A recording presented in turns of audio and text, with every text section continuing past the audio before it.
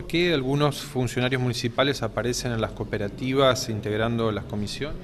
Bueno, esta fue una de las preguntas que, surgió eh, por parte de, otros concejales.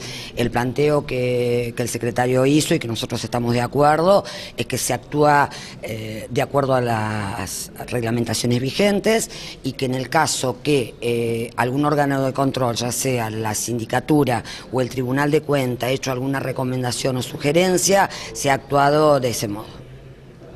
Por recomendación del tribunal hay personas que se han apartado, hay convenios que... En algunos casos que ha sido así.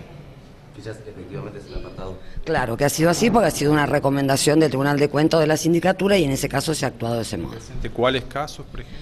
La verdad que no, no, no, digamos, no los tengo yo presentes, eh, pero además eh, la intención al menos de esta primera reunión, fueron eh, detalles eh, más generales acerca también del procedimiento, porque a nosotros también nos parecía muy importante entender cuál es el procedimiento, que en realidad acá lo que hay a partir de la ordenanza vigente es la posibilidad que frente a tareas, de pavimento articulado, de cordón cuneta, de malezamiento, de, eh, señalamiento de arterias.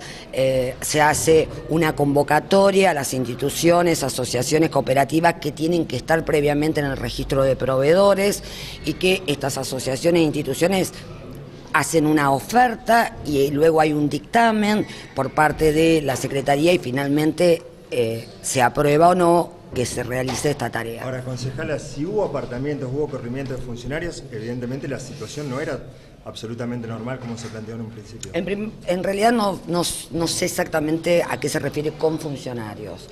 No estamos hablando además de cuestiones puntuales. Eh, hubo esta pregunta, hubo esta pregunta. La respuesta es, en todos los casos se actúa conforme a la reglamentación y en algunos casos, aún actuando de acuerdo a la reglamentación, si hubo alguna recomendación o sugerencia por parte de un órgano de control, por supuesto esto se tiene en cuenta.